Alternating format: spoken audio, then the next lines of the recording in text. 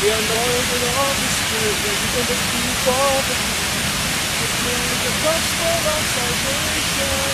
In the name of Jesus, in the name of Jesus, in the name of Jesus, yoke of bondage is destroyed.